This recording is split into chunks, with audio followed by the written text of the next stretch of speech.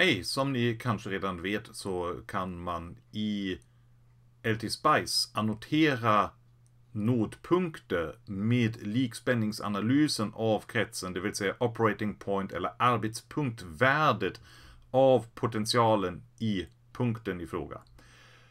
Det som jag trodde var en nackdel med denna metod är att LT-Spice tenderar att skriva ut för många decimaler. Så här har jag ritat upp en transistorförstärkare kring en eh, NPN-transistor 2N3904. Och eh, jag är till exempel intresserad vad det är för potential här i basen efter en arbetspunktsimulering. simulering. Och jag kan göra så att jag ställer mig i närheten till den här noden och så står värdet nere i statusraden. Här står det 1,6607189 volt. Men som några studenter upptäckte i kursen för cirka tre år sedan så kan man faktiskt annotera de här punkterna också så att man ser värdet hela tiden. Om jag gör det nu och går högerklickar på den här noden och placerar en arbetspunkt data label här.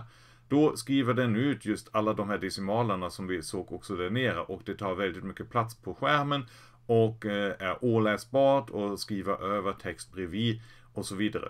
Men det jag upptäckte nu är att man återigen kan högerklicka på den här siffertexten och då får vi upp en meny här, eller en, en en dialogfönster, displayed data. Så först kan man alltså uppenbarligen välja alla möjliga saker ur den här listan som man kan rita upp i en sån datapunkt.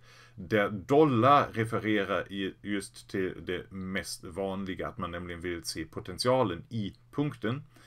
Men vi kan faktiskt också, som i andra fall i LT-Spice, skriva ett uttryck och ett uttryck som vi kan få, äh, skriva för att få ett begränsat antal decimaler är om vi först multiplicerar värdet med 100, trunkerar off eller avrundar och sen delar vi genom 100 igen. Så då har vi två decimaler kvar och här skulle vi alltså skriva round av värdet gånger 100 och sen delar vi resultatet med 100 och då står det 1,66 volt med två decimaler. Samma kan vi göra på kollektornoden här som jag siftade, siktade på att den skulle vara på 4 volt.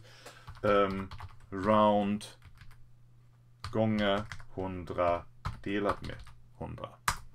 Vill ni ha eh, tre decimaler istället så gånger ni med, med, med 1000 och delar med 1000. En decimal får ni om ni gör samma sak med 10.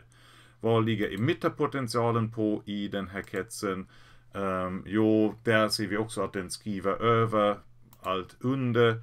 Och om jag nu skriver round av dollar gånger 100 delat med 100 så är det fortfarande i vägen. Det jag brukar själv göra i sådana fall är att jag gör en liten trådstubbe här.